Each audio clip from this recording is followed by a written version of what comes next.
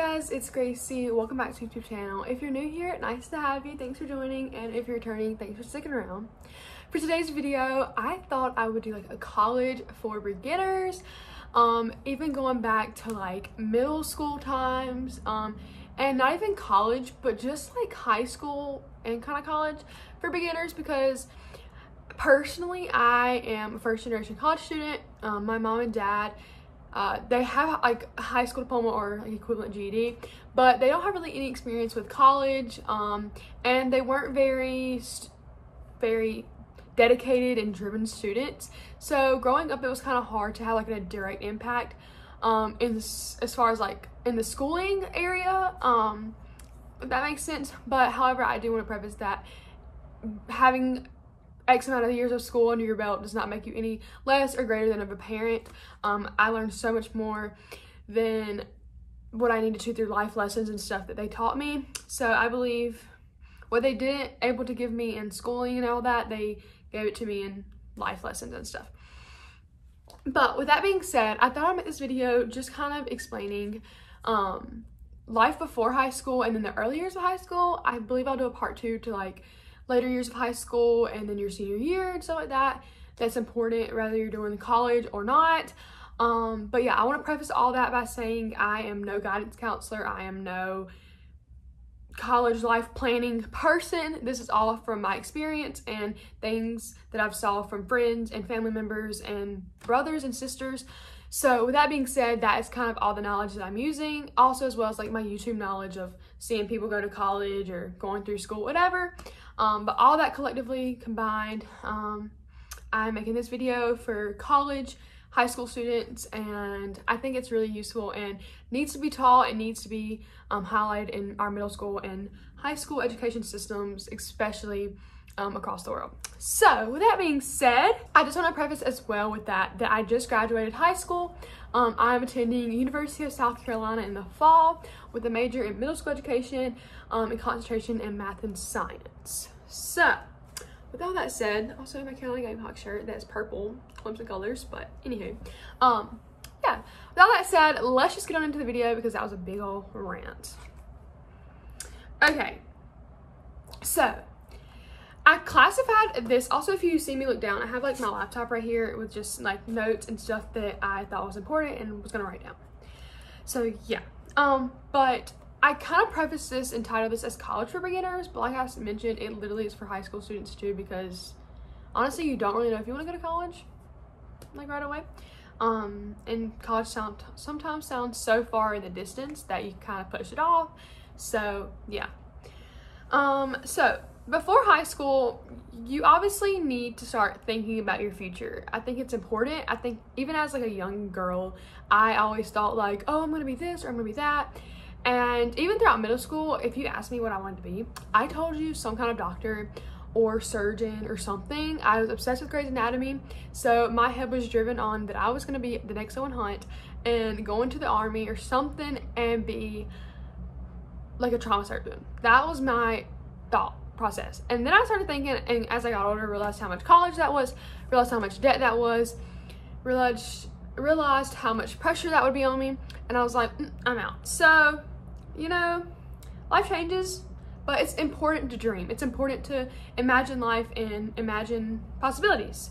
So, before high school, start writing down things that inspire you you know, watch videos, watch movies, read books, anything that could inspire you and point you in a direction of something that you would like or reveal to you a new passion. Those are important things to do and important things to find yourself in and discover.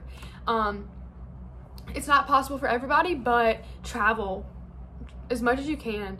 You'll see things like, example, the St. Louis Arch. That is a big thing. And you know, seeing that might make you want to become an engineer, a structural engineer or something like that, you know, like, or um, seeing like the Riverwalk in San Antonio might make you want to do something with like water systems and stuff like that, or seeing, you know, this big hospital might make you want to do something else. So I encourage you, like, just expand your horizon. Don't go into high school or even eighth grade year with saying, this is exactly what I'm going to do don't tell me otherwise. Um, because I think when we do that, we close our mind off and we don't allow for new things to come in. And personally, if I did that, um, I would not be a teacher, going to be a teacher, honestly. Um, I would probably be going to do pre-med track and hate the rest of my life because, well, honestly, pre-med's not for me. It's not for everybody. So yeah, write down things that encourage you, expand your horizon, um, and if it's possible throughout middle school, um, job shadow as much as possible. Job shadow teachers, doctors, lawyers, anybody. I know it's hard, I know it's awkward, but I promise you, you won't remember your experience. Um, and it'll probably be one thing, if you do remember, it's gonna be something really positive. Um, so job shadow as much as you can, even through high school, be like, make connections and, you know, talk to people at the grocery store. I know it's weird to just walk up to be like, hey, but just make conversation. Hey, how are you doing today? Did you have a great day? Just make conversation. You'll meet people through that way. Um, and then it'll open doors for you into your future. Um, like I said, search the internet, um, not only on YouTube and movies and stuff like that, but search the internet to find jobs that you've never heard of. It is a world wide of jobs that are never heard of, literally never heard of. Like marketing engineer, not marketing engineers, but like, I don't know, there's just jobs that aren't your doctor, lawyer, teacher, firefighter, police officer, nurse, hairstylist, car mechanic, cashier. I don't know what else. But there's stuff beyond that, like so much more. Um, graphic designers, you know, people who make cars, like, who study car mechanics and like design cars and IT professionals and there's so much more, especially with the world technology improving and things going beyond what we could even fathom. There is so much more jobs coming open every single day. So look, research, explore.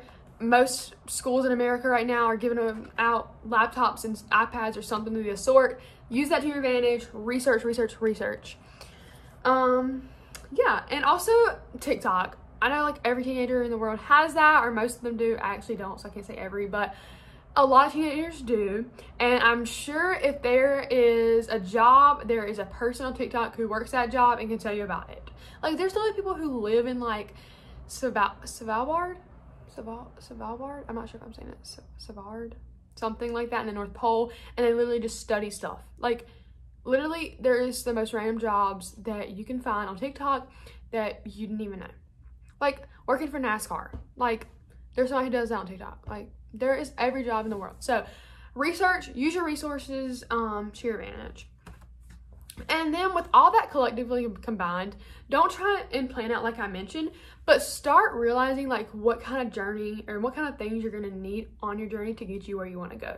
So like if you want to do engineering or if you want to do like you know, be a doctor, or if you want to be a teacher or if you want to be a firefighter, there's certain things that are required for you to be in those positions. So like firefighter, there's certificates you have to have. For teacher, there's schooling and certificates. There's tests you have to take. For doctor, there's undergrad, there's graduate, there's residencies. You know, every you know, career field has a different process and different journey. So start kind of thinking about that. Don't plan it out, but just start thinking like open your horizon, being like, okay, well, if I know I'm going to go to college, what what college did, would I like to go to? Um, so yeah, just a dream. Like spend your years before high school dreaming and thinking. So then, um, it's not true for everywhere, but as years go on, high school classes start being offered earlier and earlier and earlier. Um, I believe my middle school, I started, um, at my middle school, I started high school classes in seventh grade or eighth grade, but I know now I think they're even twinkling into sixth grade. So high school classes are twinkling down, twinkling down um, for students who are um, accelerated learners or something of that sort. So yeah, I want to say that, but I also want to say this. Um, as far as GPA wise, if you plan on going to college, that is really important. And that's something that people look at and it shouldn't define you, but it's really important. And that you try to maintain a good one if you plan on going to college. So that said, it's kind of like a house. A GPA is kind of like a house. You set a foundation and you build upon that. So if you want to have a great foundation, you have to try your hardest your earlier years. The first eight credits or eight classes or however your school does it of classes, those are the most crucial and important classes and credits you'll ever receive because they determine essentially what foundation you're laying for yourself.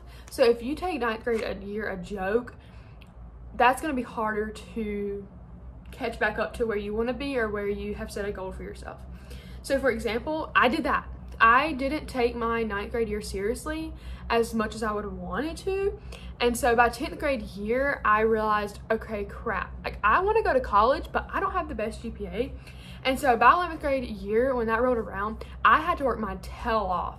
Like I took eight cl classes in one semester, whereas most school, like most students at my school take eight classes in a whole year. So I worked my butt off to get a higher GPA and that's not something you want to do or something that you think is capable for you. Taking your grades and your classes seriously your first semester or year or classes that is so important to do and something that you definitely need to consider if you have any plans of going to college or a technical school or anything of that sort. It's definitely something you want to start prioritizing. Um, not in a way that you feel pressured or overbearing, but in a way that you are respectful and mindful of your grades and your goals for yourself. So yeah, that's that. Um, moving forward, early years of high school is a great time for you to start getting involved in community service outreaches, projects, clubs, things of that sort. Um, not only are you doing that for college, but you're doing that for your future. Um, if you don't plan on going to college, being involved in your community is a great way to get a name for yourself and make yourself look presentable and notable in the community. Um, for example, having your picture in the newspaper. People read the newspaper. You'll be surprised by that. Um, I know as teenagers and younger people, we think, oh, just old people do that or old people do this or nobody looks at this really. I promise you people do. It's the thing people look at. Um, people talk, as rather you live in a big town or a small city street town. People talk and your name gets out, and so having a good notable name for yourself is important. Um, so yeah, it also gives a name for yourself when you're going to get a job. So if it's college isn't something that is in your tracks, when you go get a job, if someone says, oh, like, I know who that is, I saw them doing this, or, oh, she's in that club, or he's in that club, oh, I know that club, they helped me or my family member with this. So it's just a great way to get a name for yourself um, without investing money or investing a lot of your time um, into things. And there is clubs that invest a lot of time and a lot of money in, um, and that's just your preference, but um, I definitely encourage it. So then yeah and also joining club it doesn't have to be just a club it can be sport um but i will say this in hindsight going into college they're not looking for just a person with a great gpa they're not looking for a person just with good sports or just somebody with 150,000 hours of community service, you know, hours, whatever. They're looking for a well-rounded individual, one who may have played a sport, was involved in community service, as well as had a good GPA. So it's not something that there's one criteria and they check and they if you have it, you go. It's like, do they have this? Do they have that? Do they have maybe this too? So it's something that you want to build a good portfolio for yourself to represent not only a college, but an employer um, at a job or I don't know, an internship or something of that sort. Um, your early years of high school are also a great time to start building relationships with teachers. Rather, you're going to college or just going to get a job, it is a great way to get a name for yourself um, and build relationships as well. Just to have people you know you can depend on at school um, and that you can essentially, you know, rely on everyday basis. Um, maybe not necessarily rely on, but have someone that has your back, shall I say.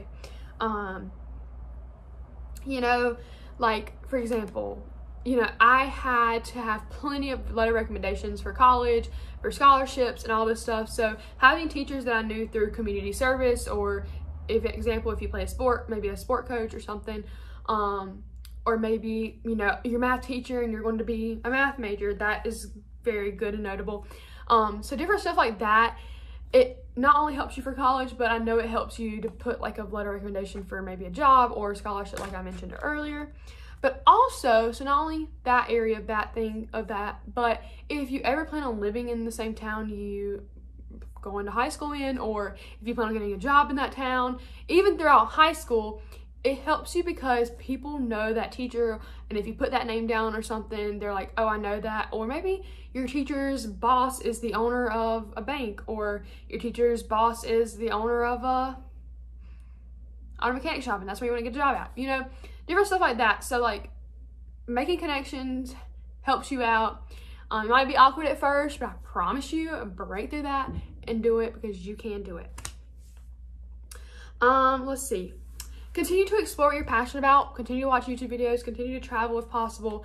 Um, but also it's important to start taking classes that encourage you or excite you. Anything that you're curious about ninth and 10th grade years are really crucial years to take those classes because you can academically do pretty well in those classes as well as you can have a good idea for what you want to do your 11th and 12th grade year as far as if you want to do you know become a completer or something at like a career center in your community or something or if you want to use those bases and foundations in 9th and 10th grade to expand on that through college so that was a mouthful but basically taking those classes your younger years basically helps you out in the long run your 11th and 12th grade years because most of the time you're 11th and 12th grade years you're taking classes that'll boost your gpa or um, you know, help you get closer to graduation rather than the base classes. So yeah, if you are interested in teaching, take intro to teaching or a child development class of some sort. Um, if you're interested in becoming a doctor or a nurse, take health science classes. If you're interested in becoming a firefighter, take firefighter classes and stuff like that. Whatever your school offers, take things that excite you and make um, just Take classes that sound exciting to you and sound like something you would want to do. You may never become in or do or follow that track again, but at least you know. For example, I took a health science one class, hated it because it was the teacher was not there any day of the week. We one of the teachers left. We had to get two different teachers come back in.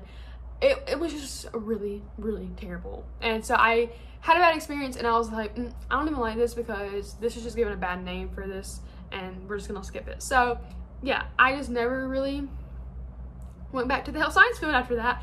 I actually became a completer in teaching and education. So yeah, take classes that excite you. So I think that is it for things that are key points for encouragement before high school and even your early years of high school. Um, out of all those things, my biggest advice to you would be get involved, take your grades seriously. Don't worry about how many friends you do or don't have um, what boyfriend you have this week or that week. Just worry about you.